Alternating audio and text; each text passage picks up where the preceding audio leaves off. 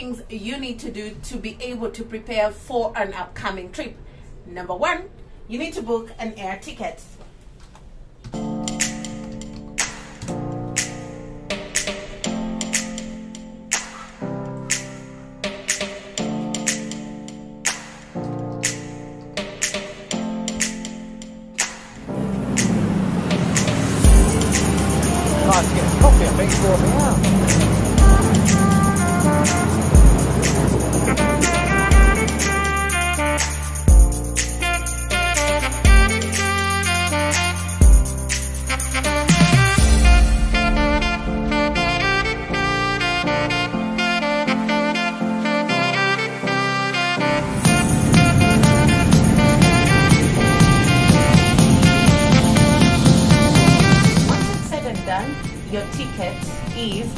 Ready.